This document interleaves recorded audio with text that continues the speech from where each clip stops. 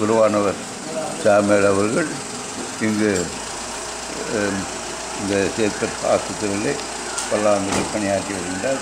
சிறப்பாகவும் எல்லோருக்கும் உதவியாக இருந்து வருகிறார். அவருக்கு நாம் எல்லோரும் நன்றி கூட கடமைப்பட்டிருக்கின்றோம். வணக்கம். வேறு